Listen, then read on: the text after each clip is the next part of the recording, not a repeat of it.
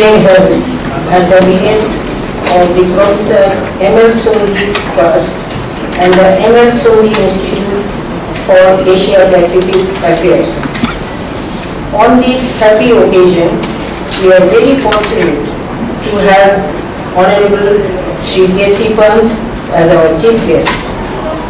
As we all know, Sri K.C. Pant was a former defense minister and a former deputy chairman of the Planning Commission. We are also very pleased to have Ambassador S.J.S. Chatwal, a distinguished career diplomat with many feathers to his cap. And our dear Madam Madhuri Sondhi, also a distinguished scholar by her own right, on top of being the main pillar of strength to the trust and the institute. I am sure you will understand that this function could not be conceived without her presence. We are delighted to have Air Commodore Jasjit Singh, who hardly needs any introduction to this informed audience. It is a matter of great joy to me and to you, I am sure, to welcome Air Commodore Jasjit Singh for his outstanding contribution to the field of international politics in general and defense and strategic studies in particular. He is the most respected recipient of the award this evening. A huge congratulations to him from all of us. Please.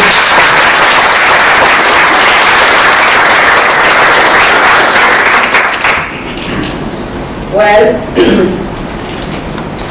if you could bear with me for a few minutes more, I would like to take this opportunity to say a few words about the Institute and Professor Sondhi himself.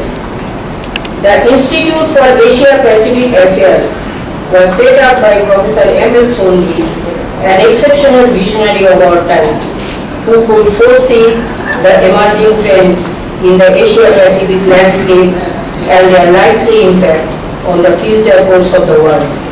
Indeed, all that was the result of his own dream, which he relentlessly pursued and nurtured till the last moment.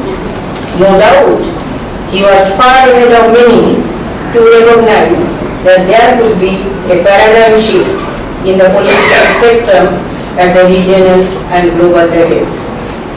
That the rise of Asia-Pacific region was going to be the key variable in shaping out the future of India and the world at large was Professor Sondhi's firm conviction. He believed in an India strong and viable and yet a benign power by choice within the community of nations. If you take a look at the Institute's profile, I am sure a thinking mind will certainly be in sync with the rationale for its creation. It is a call on all of us. In keeping with what the Institute stands for, its primary objective is to carry forward the said vision by promoting research and studies on the dynamics of international relations, including regional cooperations in the Indian subcontinent, between South and Southeast Asia and the future of Asia-Pacific region, followed by disseminating information and promoting engagements among the participating institutions. The Professor M.L. Sondhi Prize for International Politics 2011 is a part of that objective. Going forward, I have a personal note to touch upon. Professor M.L. Sondhi was my chairman, while I was member secretary of the Indian Council of Social Science Research from 1999 to 2001. That was the first time I got an opportunity to work with him directly. As chairman of the ICSSR, uh, he was deeply concerned with two very significant issues within the realm of social science research, which he kept on harping time and again. These were A.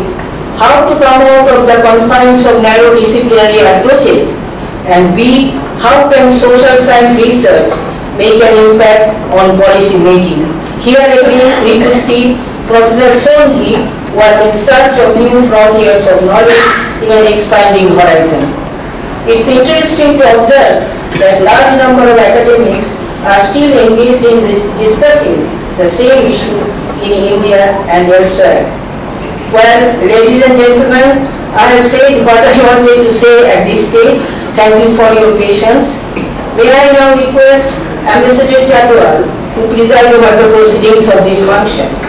As you know, Ambassador Chatwal is one of our most illustrious diplomats belonging to the prestigious Indian Foreign Service. With his varied experience, he has been a great source of strength to the Professor M.L. Sondhi Trust and the M.L. Sondhi Institute for Asia Pacific Affairs since their inception. To briefly mention some of the highlights of his fruitful career, he has set up the Indian Embassy in Havana, being the first Indian resident representative in that country, was one of the few non-aligned representatives in Havana during the Cuban Missile Crisis of 1962. He was High Commissioner in Canada, Malaysia, and Sri Lanka, and Ambassador in Kuwait. He also taught in JNU for one year and served the UPSC as its chairman for five years. Ambassador Chatwal.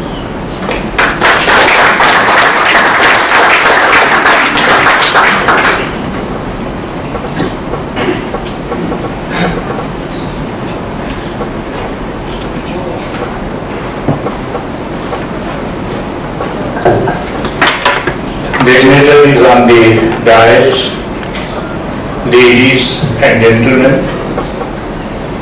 Uh, Many thanks, Dr. Chandra, for your generous introduction. I would like to add my welcome, warm welcome to the welcome already given by Dr. Chandra our chief guest, Dr. uh, Honorable K.C. Pant and Air Commodore Jasjit Singh don't need a long introduction in any meeting in Delhi. And especially if the meeting happens to be in a place like India Heritage Center. However, I would like to say a few words. Honorable K.C. Pant belongs to the family of Bharat Ratna uh, Shri Govind Pant, who, as all of us know, was a freedom fighter. He became the chief minister of undivided UP from 1946 to 1954. Shri Govindra Pant came to Delhi in 1955 as Home Minister and stayed on in that position till 1961. Shri K.C. Pant, after finishing his studies here and abroad in Germany, fought his first Lok Sabha election from Nainital in the year 1962. This was followed by three consecutive successful elections from the same constituency till 1977. After 1977, Shri Pant had a stint in the Rajya Sabha and was the leader of the House in 1979. As well as the responsibilities and the positions that he held in Delhi, there is hardly any ministry that he did not have, be it defense, home, finance, uh, atomic energy, heavy industry.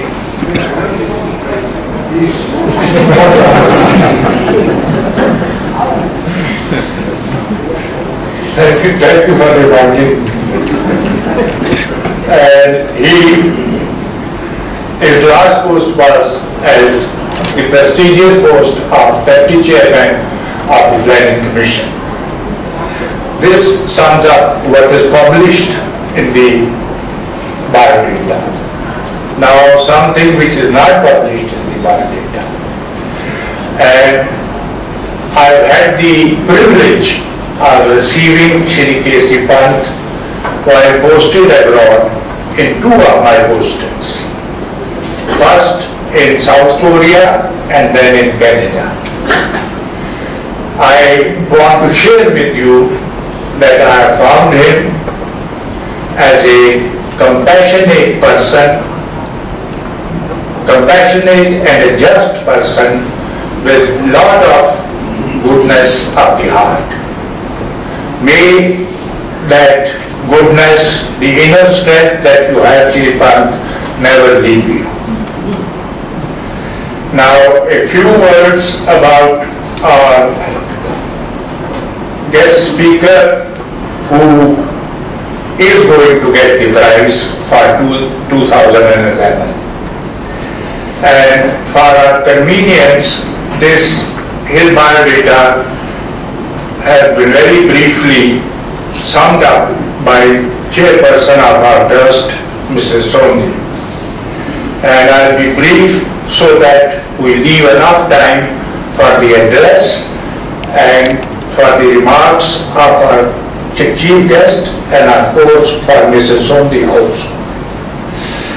Uh, Air Commodore Jasjit Singh, AVSM, V Chakra, VN, retired, leading strategic, uh, strategy and defense expert, fighter pilot in the Indian Air Force, was decorated thrice for distinguished service and gallantry and awarded the Padma Bhushan in 2007. Currently founder director of Center for Air Power uh, Studies.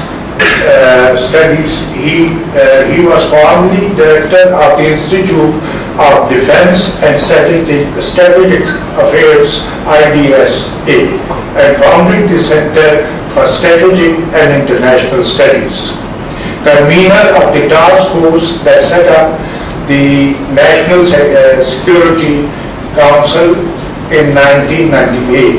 He served two terms as member of the National Security Advisory Board, was member of the International Commission for New Asia and for Peace and Food.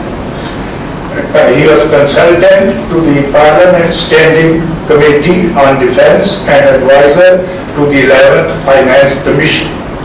He is a project writer whose books include Air Power in Modern Warfare 85 in 85. This was published, non, uh, non-provocative defense, nuclear India, Indian defense uh, spending, air power and jet operations, Iran War 2004, defense uh, from skies, Indian Air Force, uh, Indian Air Force through 75 years, and the icon uh, uh, contributing, uh, icon, contributing editor to nearly three dozen books. He writes on strategic and security issues uh, in academic journals and newspapers. This is the summing up of the uh, biodata as published. Now, again, sharing something which is not published, I have found uh, Shri Air Commodore Jasjit Singh, despite his learning, despite his uh, standing in the academic world, a very humble person and his humility, humility has never left him with, with whomsoever he has been dealing. Thank you very much. And may I, may I also request uh, our chairman, chairperson of the trust uh, uh, uh, to, uh, uh, to read the citation for prize winner of 2011.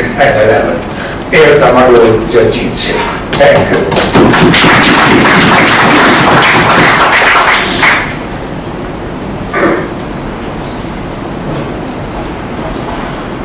Honorable Chief Guests, Shri K.C. Pant, Ambassador Chatwal, the Trustee, Air Commodore Jasjit Singh, Mrs. Barman Chandra, and distinguished guests. On behalf of the Sondhi Trust and Institute for Asia Pacific Affairs, I add my voice, I add my voice to those of the previous speakers in welcoming all of you to this function to mark the conferral of the fifth Modi Prize for International Politics on Air Commodore Jasjit Singh, currently Director CAPS as the Center for Air Power Studies is popularly known. And the committee that made the selection from among several nominations comprised, apart from trustees Sri Chatwal and myself, uh, M.J. Akbar, eminent journalist and member advisory panel of the Sondhi Institute, Sri Ajai Sahni, director of the Institute for Conflict Management, who was an earlier winner of the prize, Dr. Pushpesh Pant, Professor Emeritus, International Studies from JNU, who apart from his academic expertise is also a renowned culinary expert. Uh, so I welcome everybody who has come here this evening. I'm particularly happy that the two chief actors today, uh, K.C. Pant and Air Commodore Jasjit Singh are old colleagues. They go back at least to April 98 when the NDA government appointed a three-man task force to examine the setting up of the National Security Council. This was headed by Shri K.C. Pant and the member secretary was Air Commodore Jasjit Singh. So it must have been quite a memorable collaboration. Today, it is my pleasant duty to talk about uh, Air Commodore Jasjit Singh's life and work. Uh, there may be a little repetition, but I hope you will bear with me.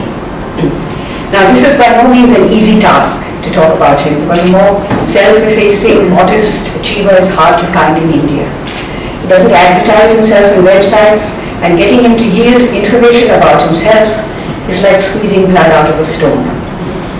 However, despite his best efforts to keep his light under a bushel, his reputation has spread abroad and in 2006, uh, he, uh, President Abdul Kalam was pleased to confer on him the Padma Bhushan for outstanding service to the nation in the field of defense and strategic affairs. Very graciously, he has now accepted the M.L. Sondhi Prize. Uh, Sikhs are known, are renowned for their courage and fearlessness, but uh, Air Commodore Jasjit Singh in particular comes from a highly decorated family. True to that tradition, we find that as a young man, as a fighter pilot in the Indian Air Force, where he started out on his career, he was decorated thrice for distinguished service of an exceptional order and gallantry on the battlefield. In the 1971 war, both he and his elder brother won the Veer Chakra. So, inci- so incidentally, it is Nehru Ganapati. He himself rose to become Director of Operations of the Indian Air Force. However, Jasjit Singh was obviously not only muscle and brawn and daring do, he was all those things, but when the government decided to set up a security think tank, IDSA or the Institute for Defense Studies and Analysis, he was deputed to that institute from the Air Force and succeeded K. Subrahmanyam as director in 1987, remaining in that post till 2001. From that time on, first at IDSA and then with the establishment of the Center for Strategic and International Studies and the Center for Air Power Studies, Jasjit Singh has demonstrated a distinct flair for institution building.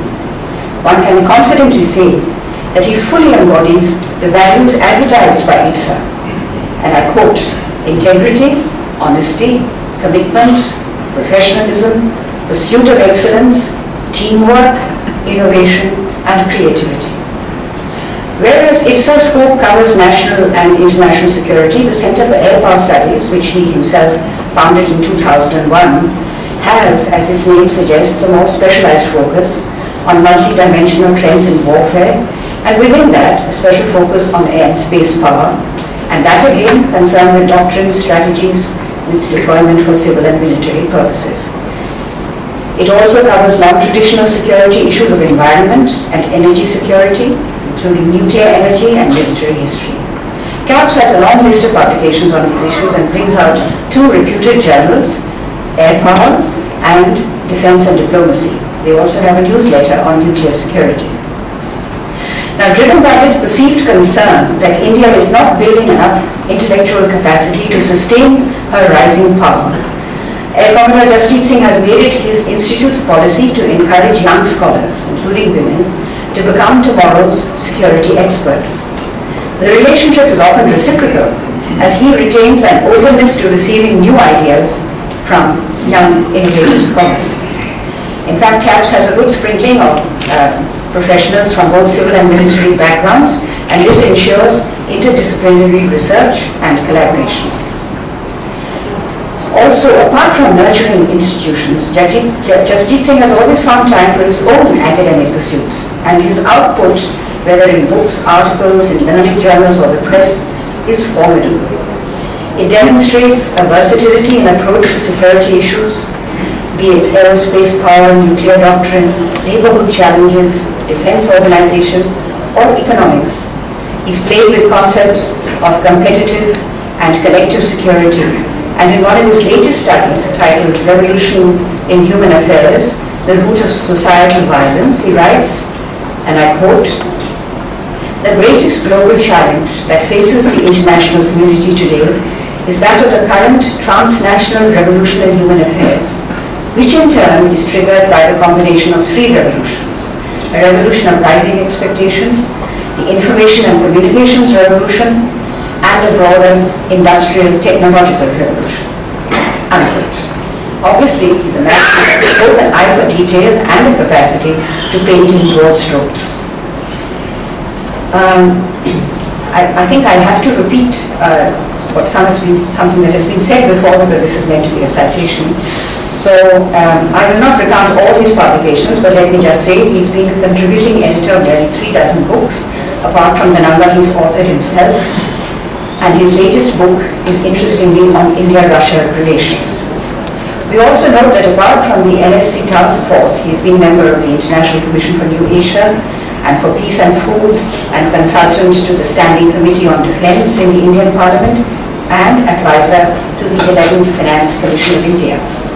It is with such a range of achievements, interests and expertise that he most deservedly received the M.L. Sondhi Prize for International Politics for, 2000, for 2011. I cannot end without adding a postscript which links the air corridor with the lead Professor M.L. Sondhi. Inevitably, as members of Delhi's Defence and Foreign Policy Circles, they had to meet, both being passionately concerned about the same things Indian national security, of course, and linked with it, foreign and economic policy. In fact, I remember sitting in on several breakfast sessions with them in the India International Center, where they had passionate conversations about their favorite subjects. They shared several other attributes. Air Commodore, of course, himself was a Sikh. M.L. Sondhi was a fervent admirer of Sikhism.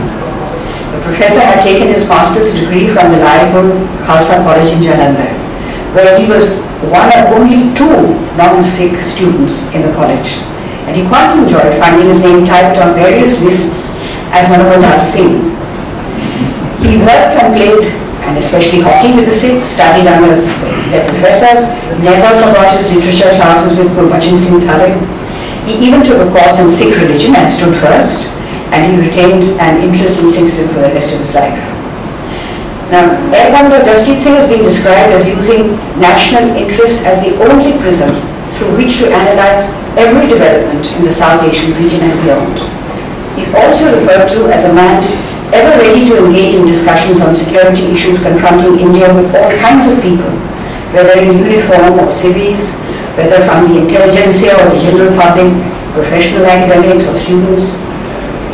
All this could equally well be said of M.L. Sondhi whose focus might have been more on foreign policy, but who would engage in discussing issues of the day, whether with the man on the street, because he was a politician after all, or his grandmother, his academic and political colleagues, and the erstwhile colleagues in the Ministry of External Affairs, and not to mention his students.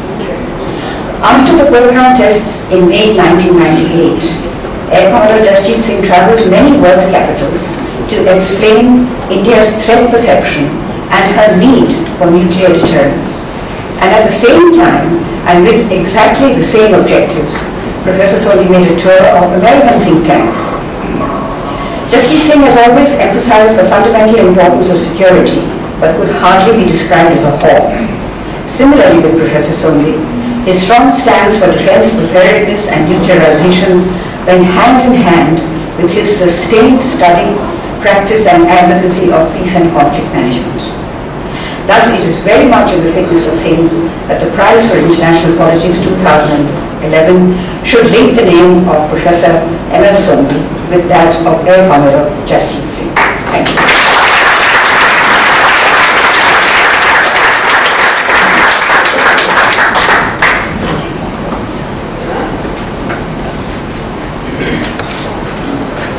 Uh, Now we we have a small presentation ceremony uh, to make to uh, to Judges Singh.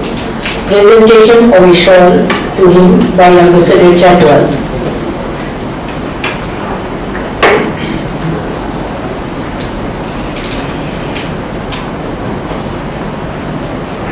ये तो बीच में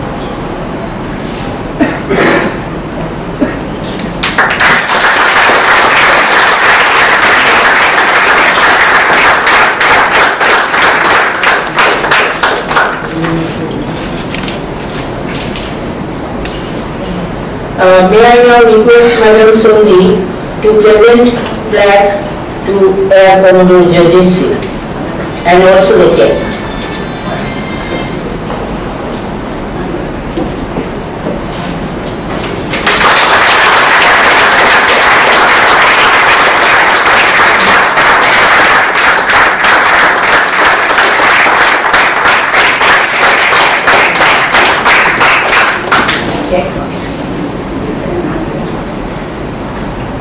Presentation of the check by Madam Sondhi to Air Commodore Jasjit Singh.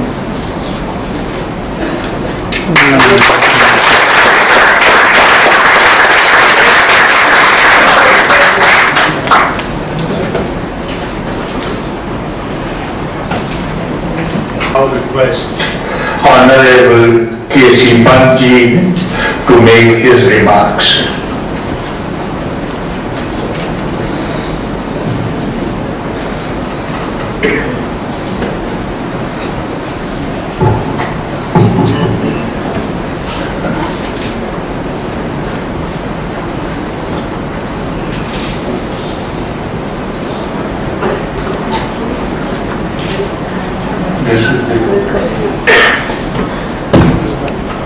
Ambassador uh, Chatwal, Madhuri ji, Air Commodore Diljit Singh, Dr. Chandra, Marshal of the Air Force, Arjan Singh Air Chief Marshal Mehra, Air Chief Marshal Tyagi, and friends. I must, begin with, thank Shri Chatwal for his very generous and kind remarks. We have known each other, as he says, for many years. And I was reminded of my first meeting with him in South Korea. And you will not believe it, but at that time, the president of South Korea told me, can you send us some small railway lines and I marvel at the way which they have developed since then. This is what I have seen myself when he was there and I to some conference altogether. I am very happy to associate myself with this function.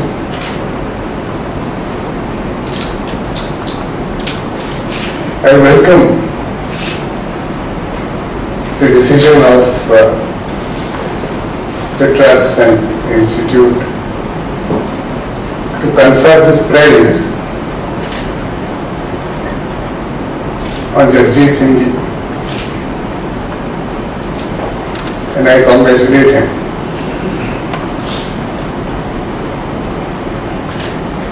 She Chatwal referred to the fact or in Madhuri history that I have worked closely with him since 98 or in 98. The fact is I have known him for decades.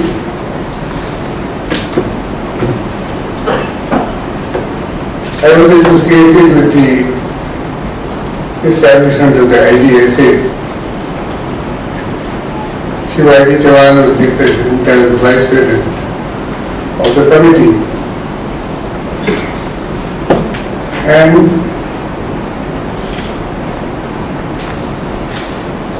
over the years, I have kept in touch. I have seen the institution grow. I have seen what a valuable service it has done to the area of uh, defense studies and security analysis. I have seen it under Mr. K. Subrahmanyam in the initial years who gave it shape and direction. And then, of course, I saw it grow under Jasjit. It was meant to be an autonomous think tank which after due study and analysis brought out independent opinions on different aspects of security and defense. We sorely needed this. And we, in my view, still need many such institutions dealing with research and analysis of an area which is changing every day, in which new technologies are coming in. So over the years, the IDSA grew under him into an organization which functioned in an independent manner, funded by the government, but giving independent opinions, not necessarily fully in line with the government's thinking. And thereby, the institute had considerable influence on policy makers. And what is more, it created a place for itself in the international security community among the various institutes, various people working in this area. And I can tell you some of the finest minds in the world are working precisely in the area of defense and security. I see its magazine sometime. While I should be the last person to say so, I find it is giving too much space to ministerial speeches. And I think that is at the cost of the independence, which is its main asset, its main attribute, and for which people in the government and outside look to it.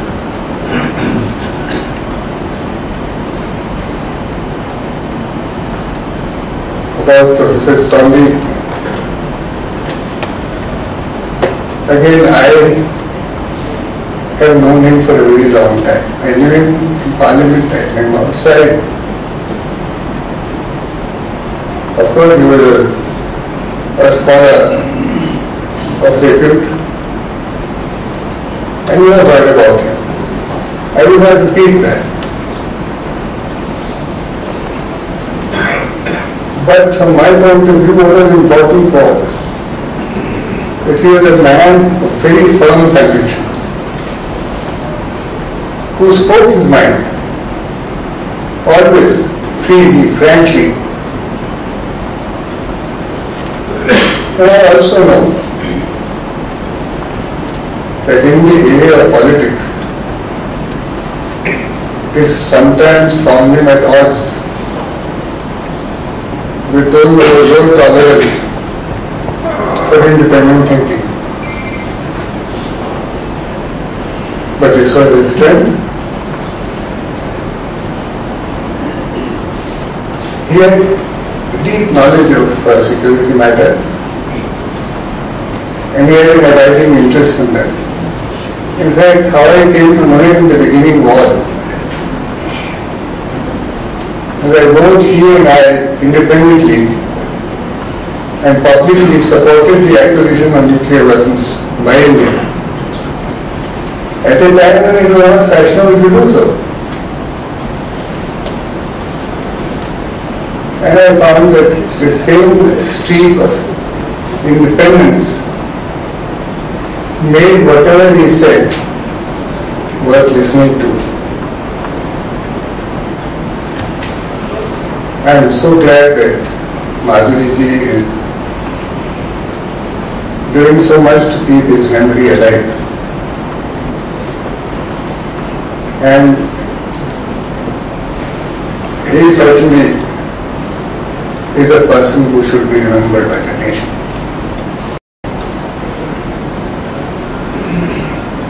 Now, the reason these studies are important and the reason these opinions are important is that we live in a dangerous neighborhood. And if you look at our extended neighborhood, that also has an impact on our security. Now today take Afghanistan.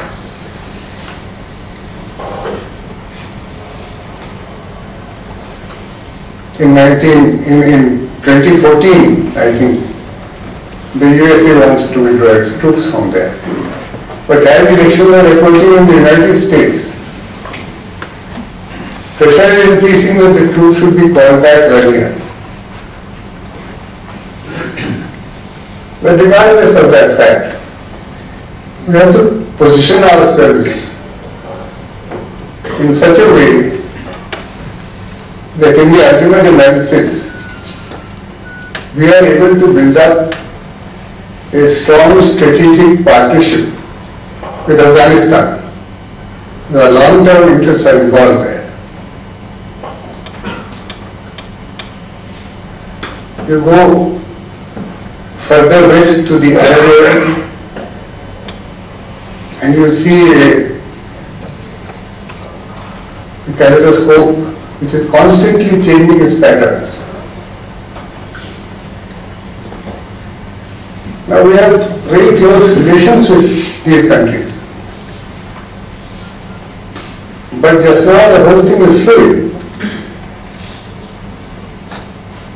So once again we have to see that we are not caught on the wrong foot when, when, when matters get settled in that, in that region. There is, for instance, Israel and Iran and the animosity between them and the interests of larger world powers in that region. But we have a positive relationship with Iran as well as Israel. Energy supplies are involved in one case and critical arms supplies are involved in the other. How do we balance this? How do we ensure that our interests are protected in a fast developing situation which is today the concern of the whole world. Then in Africa, with which we have had very close political relations since the pre-colonial days. And very close relations even today. But China has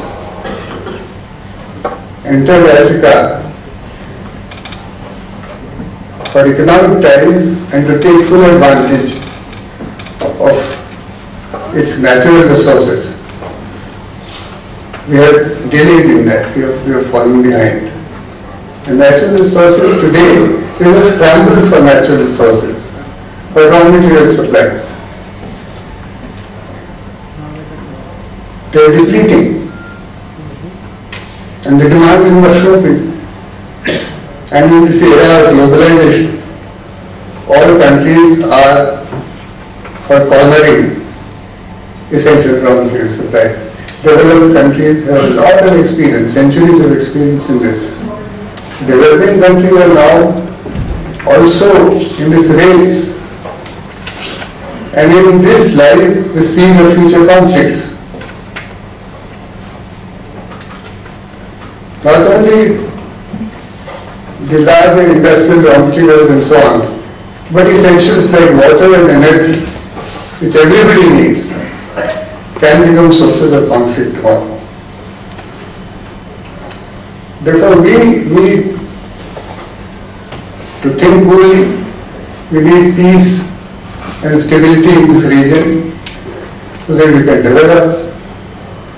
And our policy has always been non-aggressive, non-expansionist.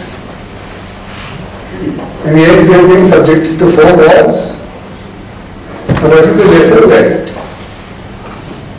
You may have very good intentions, but it must be backed by military muscle. And if you confuse intent with military strength, then you may get into trouble. Now we have to be very, very careful.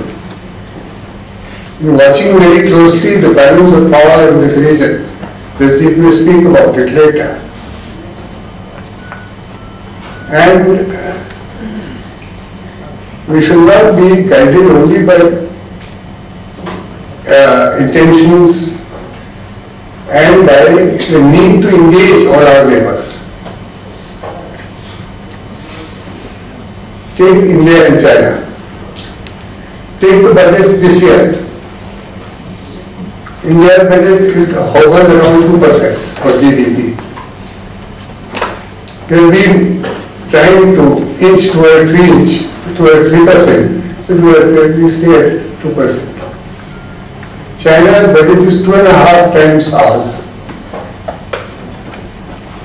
So we have to, we have to see these things and we have to see to what extent this imbalance is, from our point of view, touchable. So I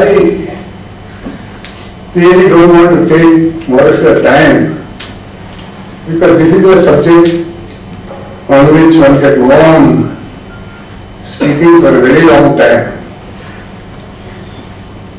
But I would like to mention one point, and that is the new technologies that I referred to earlier, which are likely to change the nature of war. Amongst them, a key element is going to be electronic warfare in wartime and in peacetime. So we might consider even going for establishment of a full-fledged specialized military electronic or cyber command, separate command or something like that, because this is going to be an extremely important area. And in the end, I, I'd be failing my duty if I did not mention my distress. At the public display of trust deficit and discordance between the Defense Ministry or Defense Minister and the Chief of Army Staff. The Army is a highly disciplined force which operates on the basis of looking up to the next higher level and accepting its authority. And as you go they look up to people on top. So I feel very concerned, not by the current happenings which may be forgotten or which, which may pass, but the damage this could do to the morale of the armed forces. The armed forces are a hierarchical order. And therefore, we, all of us have to be very careful to see that we don't affect this morale, on which its security and the defense of the country depends. So with these words, I would like to thank you for the patience with which you have heard me. And once again, I would like to congratulate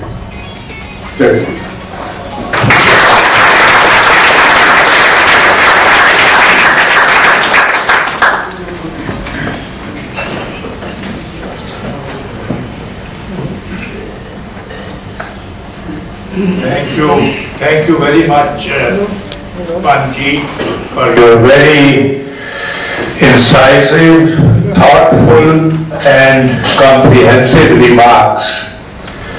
May I now request Air Commodore Jasjit Singh to address us.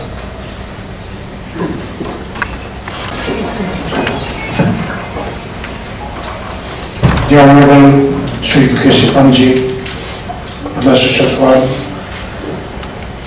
Ms. Madhuri Sondhi, Mr. Chandra, Marshal of the Air Force, former Chiefs of Air Staff, distinguished ladies and gentlemen. I've stood here very often and spoken, but not as nervously as I will do it now. I I'm a little shaken by the views of people who otherwise I respect so much in their faith. If I've gotten to anywhere, it has been on the guidance of many people. The Marshal of the Air Force himself, Air Chief Marshal, my good friend Air Chief Marshal, the Honorable Sri K.C. Pant himself, if my, if you'll permit me, sir, to just mention just one instance. In those days when India was under enormous pressure from the United States, we held a very large conference, very high-level people from the US government, difficult ones to deal with, people like Joseph Nye, if you recall, sir. At lunch, Mark Joseph kept on pressing hard to Shipanji that why don't you give up missiles? So finally, he kept giving his very gentle arguments. And Mr. Joseph Nye was insisting that don't build Agni in the long range. So at a suitable point, Mr. Pant actually told him that you have no, that Professor Nye, you have no difficulty if you continue building the Prithvi. So he said, I give up. Um, I worked a bit under him more than once when he was the Defense Minister of India, when he headed the Task Force on National Security Council,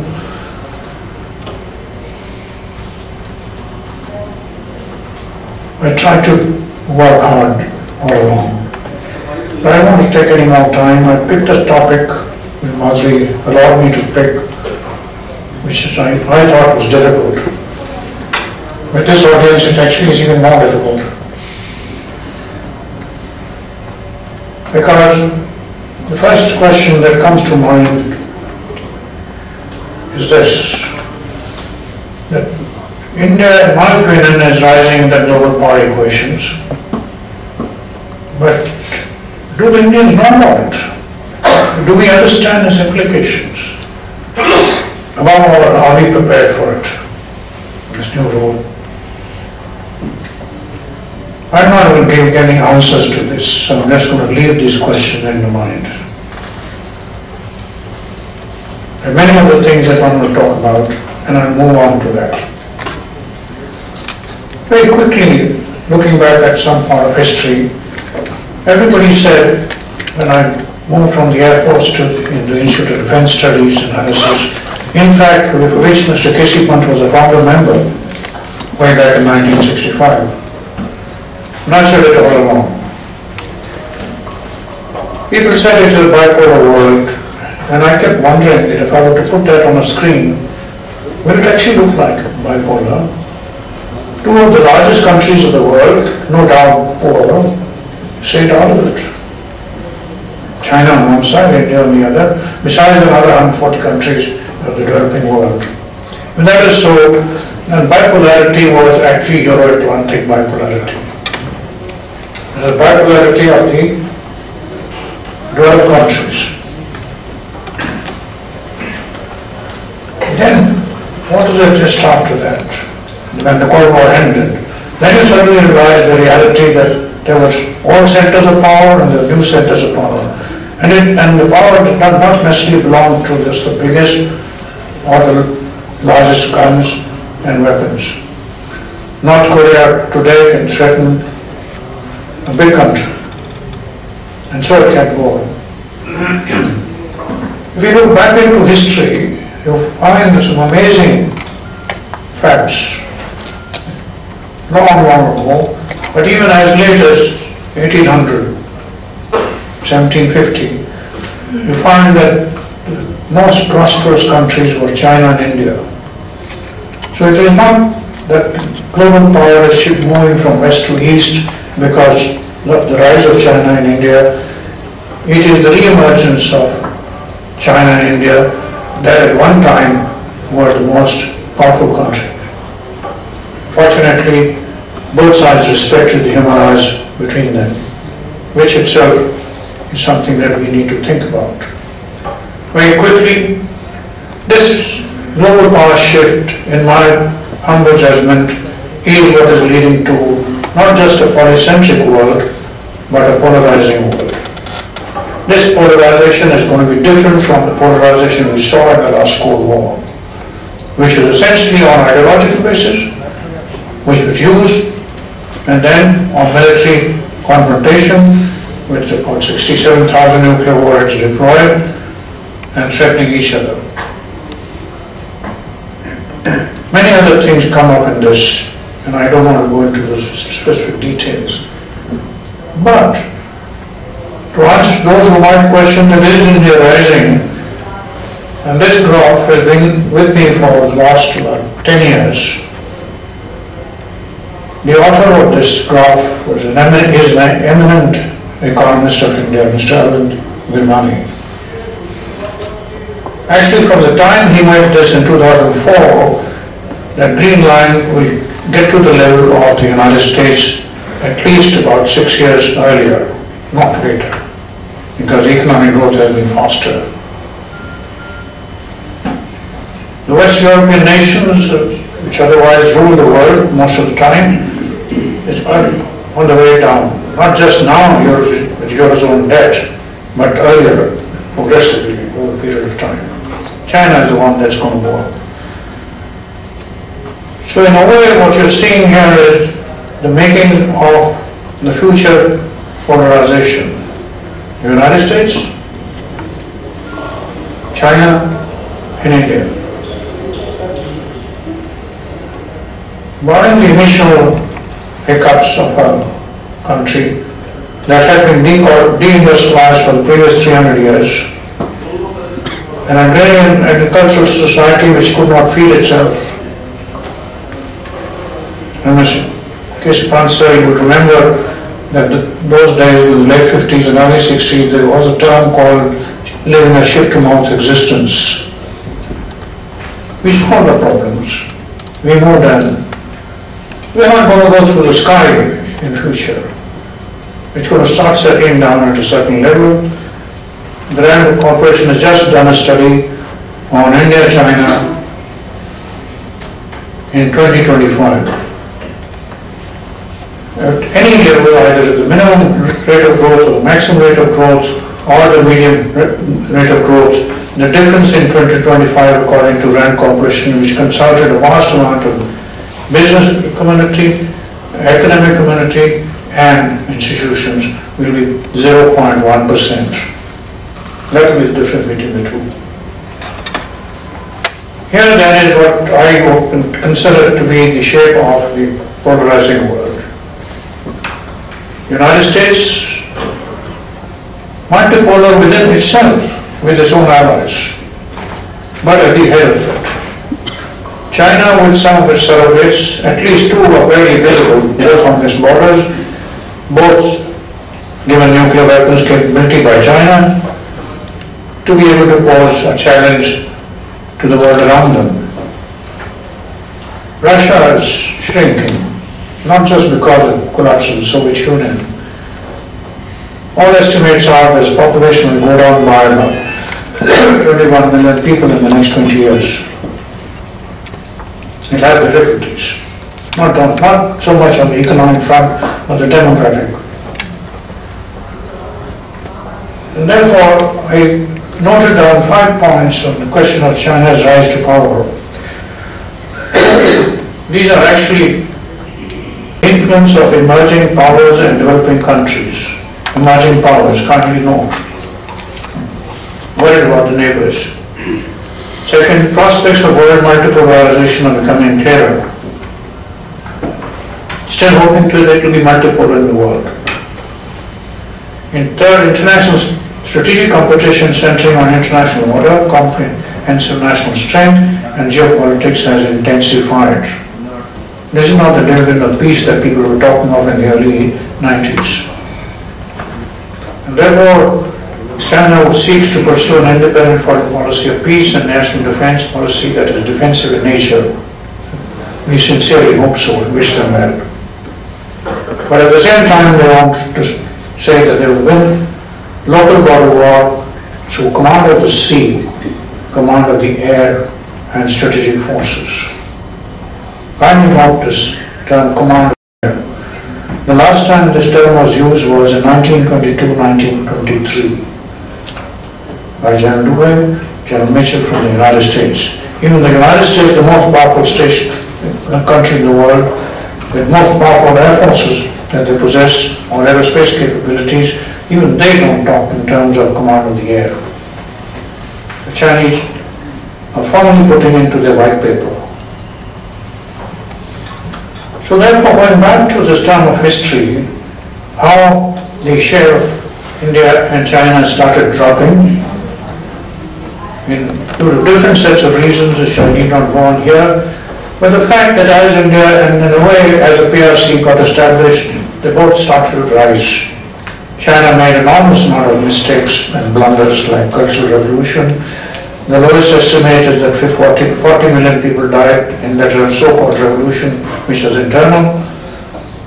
The others talk about 80 million or so. India will continue to pursue, pursue a more non-violent approach, more slow in growth, but at lesser cost to the human beings. Given this, ladies and gentlemen, what should be India's strategic priority for the next coming 10, 20, 30, 40 years? I remember when Mr. Pant was the chair, vice chairman of the planning commission, he had set up a committee to define the Vision 2020 committee as it was called, to say what it would be. And he himself sat down and made out his idea of what the vision should be. It's all there, published and available. So this is not something that is not known to people who are interested in the country and its future. I think that item number one that must be, perhaps even be called the grand strategy of India, should be comprehensive national development.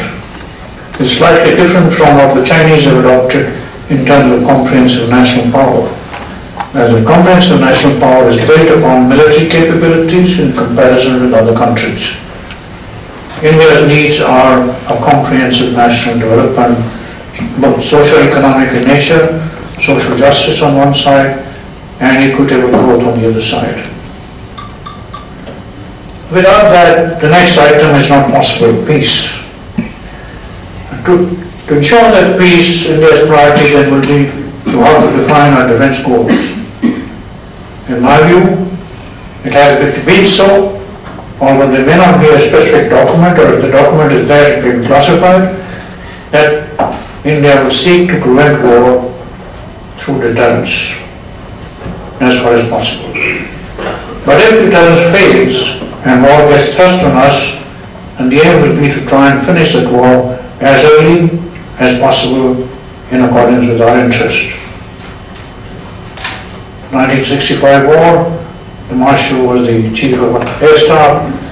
He remembers that we have discussed the, the details at length, that these, actually the aims of the war were laid down to specify that we must have Pakistan vacate Kashmir. Secondly, that we must destroy the offensive capability of Pakistan military. And third, which perhaps people might be surprised to hear, to occupy a small amount of territory which shall be returned after the war. All three were achieved and that is how the ceasefire came. It was not that we will continue going, keep marching westward on to Kabul and beyond. Therefore, in this emerging polarity that that I keep talking about, the United, unipolar United States exists because it has a multi, multi-power, multipolarity around it.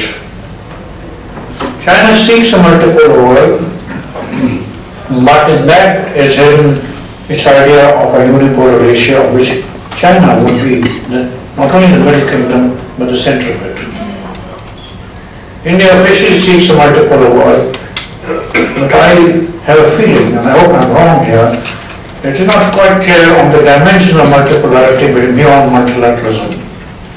We need to be far more clear on this, to say where do we belong between these two great powers, because whatever you look around, as well, the way I put it across, the hierarchy of power in the world already is United States, China, India, and then you can fit in the rest of the world.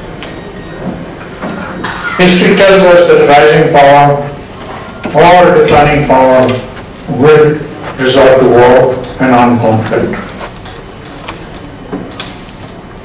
Therefore, with two of them as Asian powers, there's a certain responsibility that rests on the shoulders of China, Chinese leadership, and that of the Indian leadership, which actually really means the intelligentsia and the thinking people. Therefore, ladies and gentlemen, I draw up my geopolitical equation, US and its allies on one side, China and its surrogate states on the other side, and India. And most of, many of you will be surprised, probably agree on my articulation on US and on China, but you may get surprised on this question of India and looking at this in 2012 on the word non-aligned. Non-alignment was adopted, as K.C. Pant will remember, by the All India Congress Committee in 1939 at a session in Haripur. The term word was not used as such, but decision of the All India Congress Committee at that time was that when we become independent, we shall not join any power bloc, any military thing, etc., etc. Which then was adopted as India acquired self-rule and, and other things. But in the process, we must engage China because we have a common border on which we have our disputes. Many of them, as the Chinese would say, are left over from history.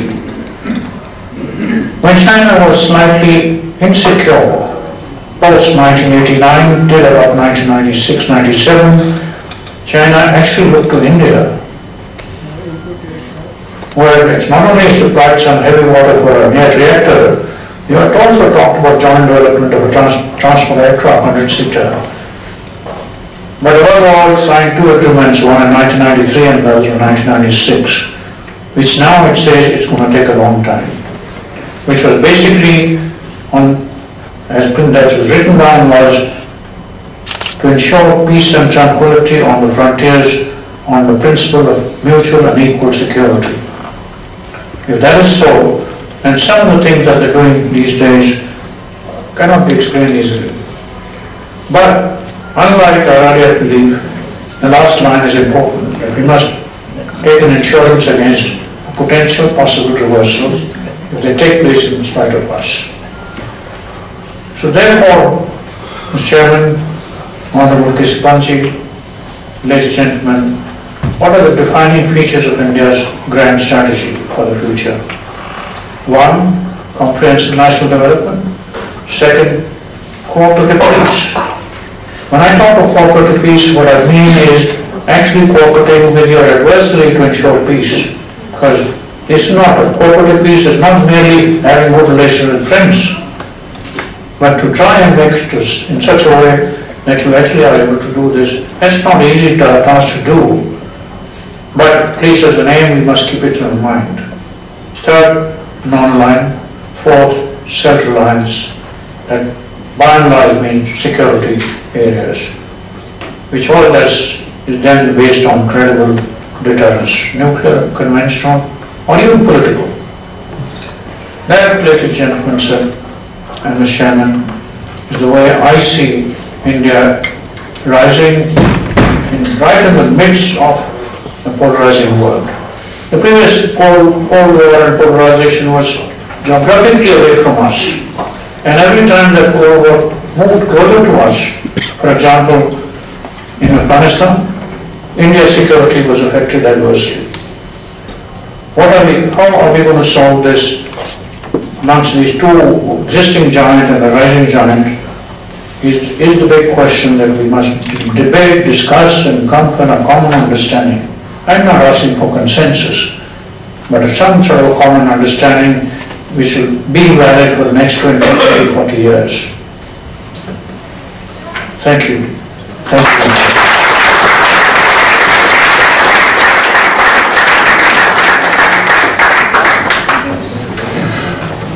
Thank you very much, Air Commodore Jasjit Jasjit Singh for your very learned and thought-provoking address. Air Commodore Jasjit Singh has agreed to accept just two or three questions from the audience. Please, whosoever wants to ask a question, identify yourself and put it, put the direct question and not an observation on his address or whatever has been happening. Just a question. Yes, I see a hand. Uh, Prakash Mehran, uh, could you just elaborate when you say engage with China and cooperate with USA?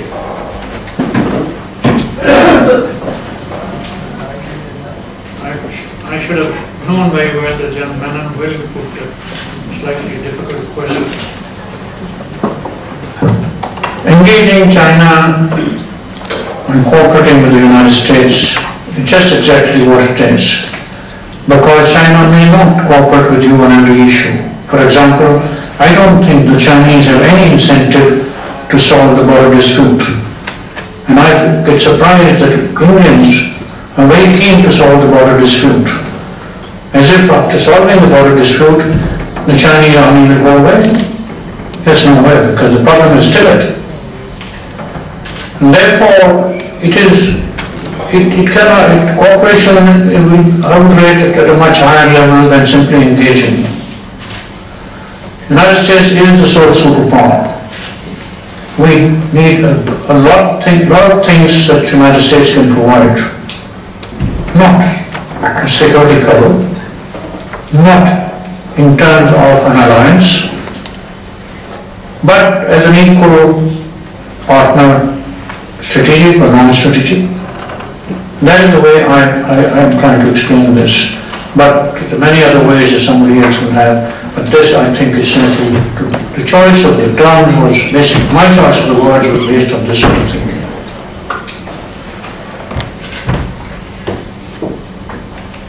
Anybody else?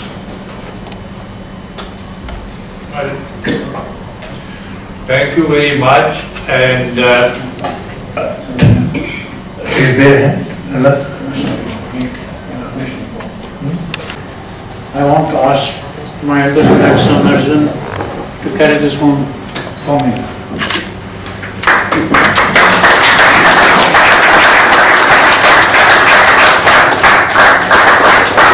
Your shoulders are stronger than mine were. There's a box down there. Sorry, sir. Thank you. No, it's not about both. Uh, May I ask now Dr. Barman Chandra to propose a formal vote of thanks.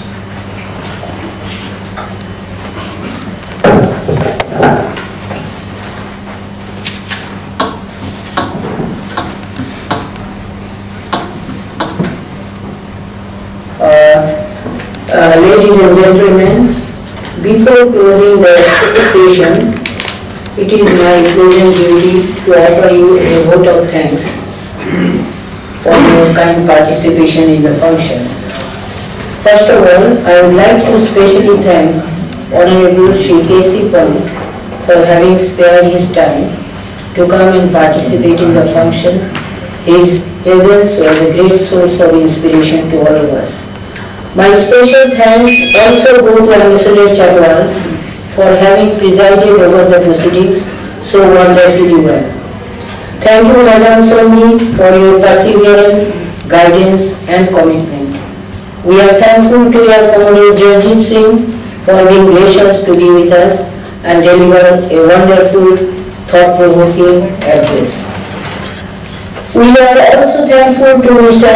Raj Liberhan, Director of India Habitat Center his entire staff in the program office for their untiring support and help in organizing this ceremony. Finally, my terms of thanks to the distinguished audience who made the ceremony a grand success. Thank you once again.